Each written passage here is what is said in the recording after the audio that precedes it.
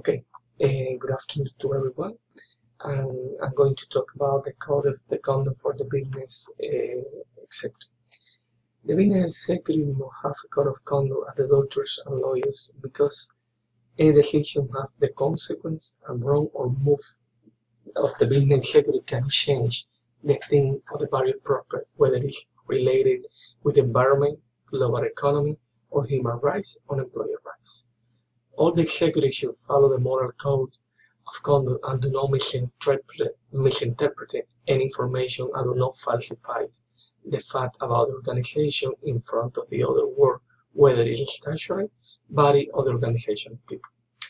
They should always uh, follow the moral values in any circumstance and act which is a good for every involved stakeholder. Executive should be transparent and open to each and every stakeholders.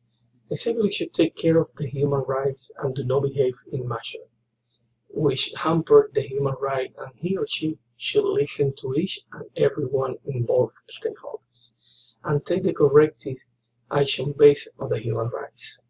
For the human right, they should follow the model code of the conduct provided by the statutory bodies.